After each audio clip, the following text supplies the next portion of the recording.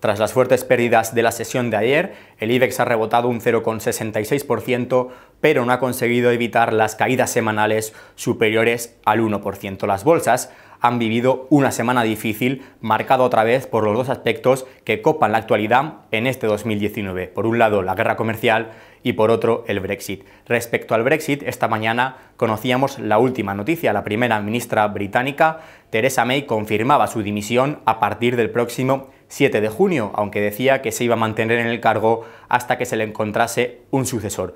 Los analistas señalan que el adiós de la Premier británica va a suponer más posibilidades de un Brexit duro. Respecto a la guerra comercial entre Estados Unidos y China, que afecta gravemente a Huawei, el presidente estadounidense Donald Trump ha señalado que la solución para la tecnológica está en llegar a un acuerdo con China. En el ámbito empresarial, los inversores están pendientes de los valores afectados tanto por la guerra comercial como por el Brexit. Hoy hay que destacar a IAG, que ha caído más de un 2% y ha sido la compañía más afectada del selectivo español y eso que ayer, cuando el mercado ya descontó la dimisión de Teresa May, fue la más alcista con una subida superior al 2%. También ha vivido una semana bastante complicada tanto ArcelorMittal como CIE Automotive y eso que la acerera ha conseguido sumar más de un 1% en la jornada de hoy. No hay que olvidarnos de Sabadell con gran exposición en Reino Unido y que hoy ha caído un 0,15%. Por último, en el mercado